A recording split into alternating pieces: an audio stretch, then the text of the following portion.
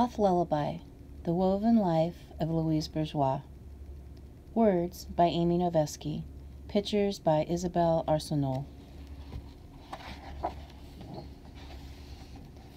Louise was raised by a river. Her family lived in a big house on the water that wove like a wool thread through everything. The river's soil nurtured a garden where Louise and her family grew geraniums, peonies, asparagus, and cherry trees, apples and pears, purple tamarisk, pink hawthorn, and sweet smelling honeysuckle. Along its banks, her father planted poplars. Louise kept diaries of her days, and in a cloth tent pitched in the garden, she and her siblings would stay till the dark surprised them the light from the house, and the sound of a Verdi opera far away through the trees. Sometimes they'd spend the night, and Louise would study the web of stars, imagine her place in the universe, and weep, then fall asleep to the rhythmic rock and murmur of river water. The river provided flowers and fruit, a lullaby, and a livelihood. Louise's family restored tapestries, art woven from wool, and the wool loved the tannin rich waters, which cleansed and strengthened it and allowed it to soak up color. At the family's workshop, Louise's mother, like her mother before her, repaired fabric grown threadbare with time. She loved to work in the warm sun, her needle rising and falling beside the lilting river, perfect delicate spider webs glinting with caught drops of water above her. And when Louise was 12 years old, she learned the trade too, drawing in the missing fragments of a tapestry. It was often the bottoms of these fabric pictures that got the most wear and were most in need of repair. And so Louise became adept at drawing feet. Drawing was like a thread in a spider's web. Among tapestries neatly stacked like books in a library, Louise's mother taught her daughter about form and color and the various styles of textiles. Some bore elaborate patterns, others told stories. She taught her about the warp and the weft, and how to weave, the tools of the trade spiral shaped spindles, spools of wool, and a needle. She taught her how to dye Purplish red was made from crushed cochineal bugs. Indigo and gold, or yellow, from plants. Black wool came straight from the backs of black sheep, and that wool smelled. That's how you knew it was real.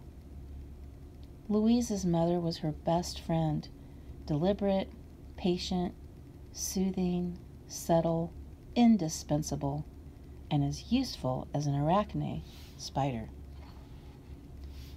Louise's father was not a restorer, but he appreciated fine things. He bought Louise beautiful clothes from Parisian department stores, but he was always leaving, which made Louise so mad she threw herself into the river. He brought back cloth scraps from his travels, and Louise's mother fixed them. Two halves of a cloth would find their way back together again. Rentrayage, to reweave, across the cut to make whole. Louise followed the river to Paris, where it flowed into the Seine.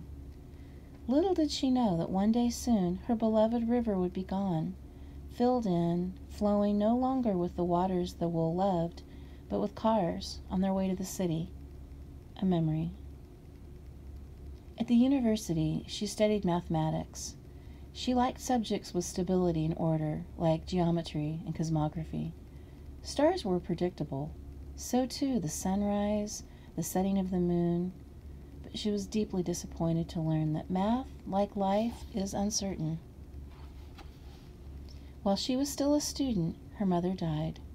Louise was heartbroken. She felt abandoned and all alone, a thread broken.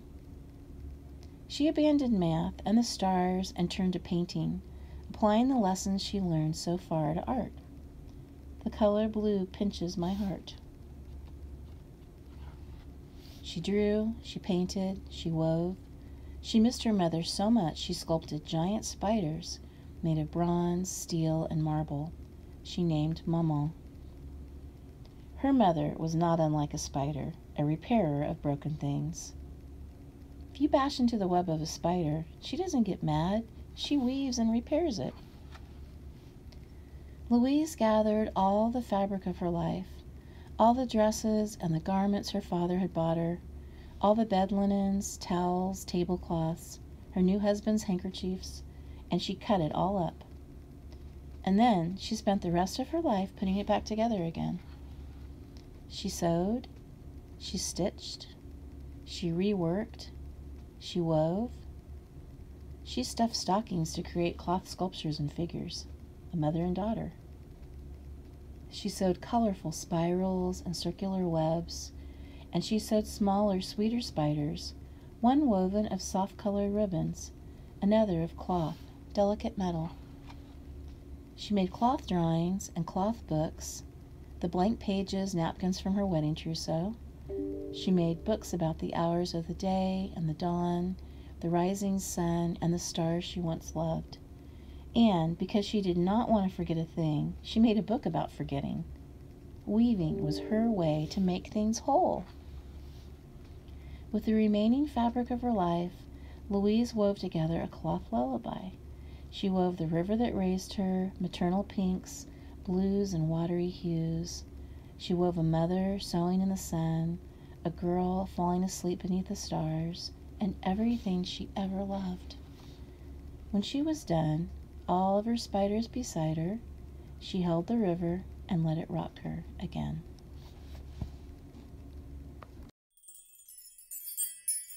All right, so we just finished listening to this book, Cloth Lullaby, which is about the life of Louise Bourgeois. And you probably noticed in the book a lot of the illustrations, many of the illustrations are in this beautiful red color. So let's look a little bit at Louise. So this is what Louise, these are two pictures of Louise, one when she was younger and one when she's older. And Louise is one of those artists that actually was better known for this picture. People knew her. If you see this picture, more people are going to recognize that than when she was younger because she, um, this is when she had more uh, attention and, and notoriety. Um, so those are, that's what she looked like. And then let's look at some of her work. So we talked about spirals before when we did the unit on Klimt. And remember a spiral just, it starts in the middle and it's just bigger and bigger and bigger in circles without the lines touching. Or you can start on the outside and do smaller and smaller and smaller and smaller circles without the lines touching. But take a good look at this because uh, sometimes if people just look at this quickly, it looks like a doodle. But if you look at it a little more closely and you look at how lines are connected, how she's put these spirals within the square. That's really fun. Okay, and then this is the one that we're going to practice, kind of do our version of today. Um, and the thing I like about this is when I show this to people and we talk about um, abstract art or art that doesn't look like anything in particular, a lot of times people want to, want, they want to recognize something. They want to look at it and say, well, I think that looks like this, or I think this looks like that. And that's fine. A lot of kids tell me they think this looks like um, typewriter keys on an old-fashioned typewriter. All right, so supplies today for this are super simple. All you're gonna need is some copy paper and something red to make a mark with. It could be a red marker, it could be a red crayon, it could be a red pencil. I'm gonna use a marker so that it shows up nice and bright for you to see. Um, but anything that makes a red mark, would, would work fine. So we were gonna, we're gonna kind of do our version of this. Um, and again, we I never am going to ask you to try to copy it. I'm never going to try to say make yours look just like hers. But what we have that's going to be the same is we start off with the piece of paper that's going to be blank. And this is kind of fun because it almost, I think it's music paper. Um, I think if you look really carefully, this is paper that you would compose music on. Um, and she's got primarily two shapes happening here. She has some really long overlapping, um, I don't know if you even call those ovals because they're so long. It's almost like a rounded rectangle. And then the rest of them are pretty, are pretty much circles. Um, but let's just look carefully because this, these are some of our options we're going to think about when we do our version of this, our, our version of Louise Bourgeois. Some of the circles overlap. These kind of look like Venn diagrams. and some of them, the ones at the very first row, don't even touch. They don't even touch each other. Oh, actually they do. They overlap a little bit too. But you can see the difference, and there's also, what else is different? The difference in the sizes. There's small, there's big. Um, one fun question I like to ask people when they first look at this is if you had to guess, how do you think she did this? Do you think she started at the top and did those two big, long, overlapping shapes and then the little tiny circles and had it get bigger and bigger and bigger? Or do you think she started at the bottom with these big shapes and got smaller, smaller, smaller and then finished up with those? You know it's really funny? I don't know. we have no idea. I just like to ask that question because people have a really definite idea of how they would do it. Um, and that's great. That's what's fun about being an artist is that you get to decide how where you're going to make the mark, what yours is going to look like. Even if we're all using a red pen and a white piece of paper, I promise you when we do this in classrooms, every single one of them ends up looking different because you get to make those decisions. So I personally, I want to start off similar to her because just because I think that's a fun way to begin. And I'm going to start with, I think I'm going to do three though three kind of long overlapping ovally shapes. Now the only uh, kind of rules or guides that I would say, don't run off your paper because it looks nice to keep everything within the edges. So don't run off and write on the sides. Um, other than that, and also, sorry, one more thing, go all the way down. Finish, finish doing your drawing some people might think this is a good warm-up exercise. If you were going to make art, some artists like to do things to kind of warm up their fingers, warm up making marks. So this, these are kind of fun warming up exercises to do this. All right, so now I'm going to make just some medium. And just because I like how it looks, I'm having mine overlap just a tiny bit, not much. And remember when we're doing art, it does not have to be perfect. This one is a little bit smaller than that. That doesn't bother me. Okay, now I feel like doing some little tiny ones. And I like these just touching, the sides are touching, but they're not overlapping. And you can see this takes a long time. But I think it's really relaxing. I think drawing like this, especially when there's no pressure, it doesn't have to look like anything. When you get done with it, if you don't like it, you don't have to keep it. Uh, I'll tell you something fun you can do with this when we get finished if you want. All right, I like that row. Now I'm gonna make a bigger row of circles. Again, these are not overlapping, they're just touching each other. And they're roughly pretty much the same size. They don't have to be though. I could make a really big one in the middle if I wanted. But I like how this looks kind of even. I like the idea that, I like how hers looked like rows. I like that too. So I'm gonna keep mine in rows. Okay, what next? You know, for some reason, I kind of want to make some big ones again. And I like these a little bit, they're not completely circles. They're like, if you took a circle and kind of squished it or stretched it a little bit, I like these, these are a little bit less round. they're still a circular shape, but they're kind of stretched out a little bit. All right, and since a lot of you are doing this from home, I just thought of a question. Oh, look how, that one's way bigger. I could make a really big one there if I wanted. So here's a, here's a thought that might happen. I'm using this marker. Sometimes you know what happens with markers, even if it's brand new, sometimes it starts to run out of ink.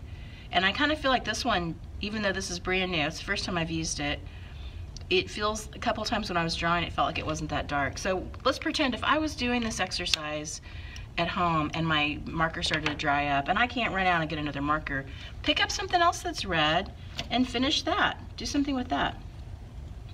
Oh, that's kind of cool.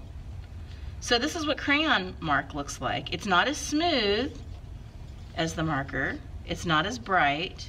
It's got texture because when I'm, I'm drawing on this uh, table, and crayon is super sensitive. It picks up whatever's underneath it. And just even this brown craft paper that I'm using as a tablecloth, you can see when you look at, I'm going to hold this up so you can see it better. When you look at the lines, See how that, there's texture in my marks? Can y'all see that? Marker is just completely smooth. Crayon, it's like kind of rough. It's got a little rough line.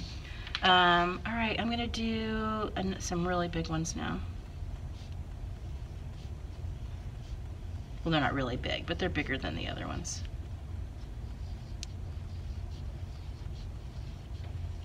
So, and if you remember, or here I'll show you a quick look. When Louise did hers, her rows touch each other, and you might like how that looks. I kind of like having a little space in between. So mine are not touching. My row underneath is not touching the row above it. But it sure could. It's your drawing. You can do whatever you want.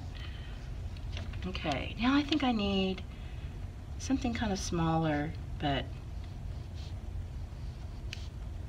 not a circle. So I'm doing kind of those long, rounded at the end shapes.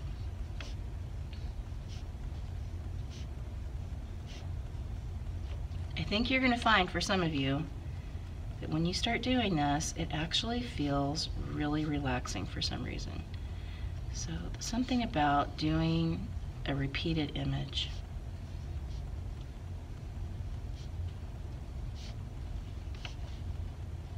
I'm not counting, I'm not doing a particular pattern, I'm just kind of doing what, what looks good to my eye.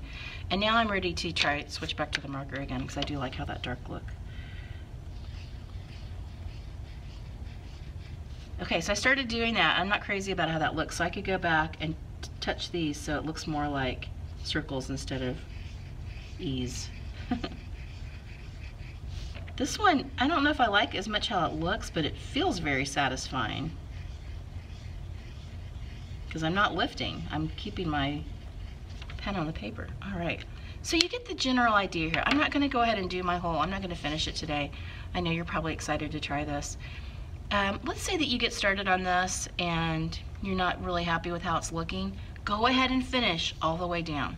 Sometimes when you're doing art and you get partway through or you get halfway through or you might get almost all the way to the end, sometimes you don't like how it looks, but just keep going. That's a, a good, really uh, good way to work through things. It's a good practice to make yourself finish it. And if you get done and you don't like it, that's fine because you were just practicing anyway. Um, and also, another thing you can do you get this one all done. If you liked it so much, you can flip it over and do it on the back. And even though there's a little bit of the marker image that shows through, once you start doing yours, however you do it, you're not really gonna see that. That one's fun, I like that shape. Anyway, you get the general idea there. And again, this is a piece of art. Even if we're doing it as a warm-up exercise, it's certainly fine when you get done to sign your name down on the bottom. Uh, good luck with these, and we would love to see what you do. So send us back on Facebook um, images of the work that you've done. We'd love to see it. Good luck.